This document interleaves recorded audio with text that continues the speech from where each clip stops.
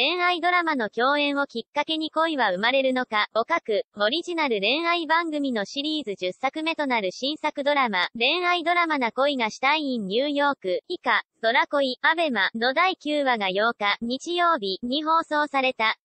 本作は、若手俳優が毎話キスシーンのある恋愛ドラマの撮影をしながら、本当の恋をしていくよう追いかける、今シーズンはシリーズ史上初の海外、アメリカ・ニューヨークでの全編ロケで放送される。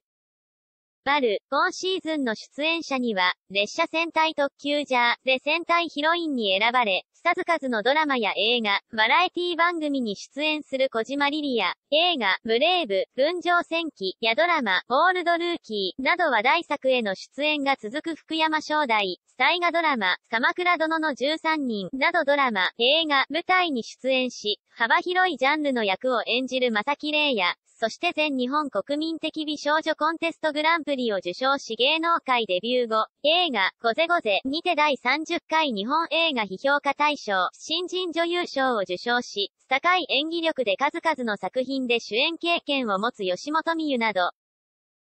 さらに活躍が期待されている若手俳優8名が勢揃い。第9話で、ショートムービーの撮影で息の合ったやりとりを見せた高橋宏斗と立石遥のペアは、見事初主演をつかむ。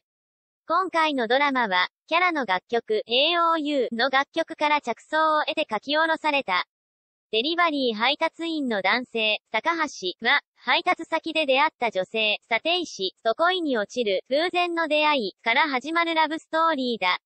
ドラマ撮影中、二人はふざけ合ってツッコミを入れるなど仲睦まじい様子を見せる。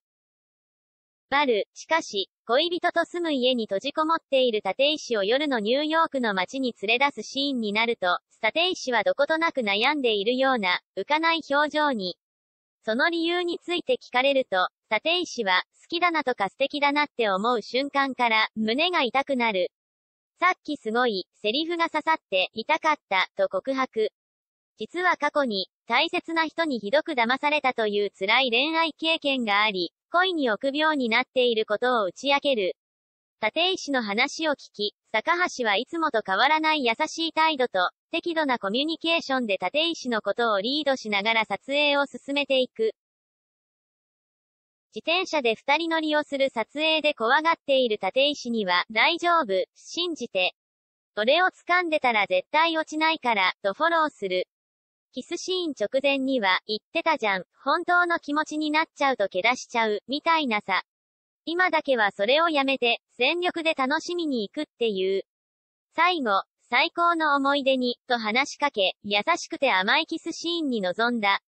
撮影後、立石はインタビューで、楽しかったです。恋をする可能性も感じたし、ちょっと前に進めた自分が嬉しいです、と笑顔に。さらに、人のことをちゃんと好きになりたいなと思えた自分と会えたことが嬉しいです。と、恋心に動きが見られた。視聴者からは、素敵な子だな、前向きになれてよかった、などのコメントが寄せられた。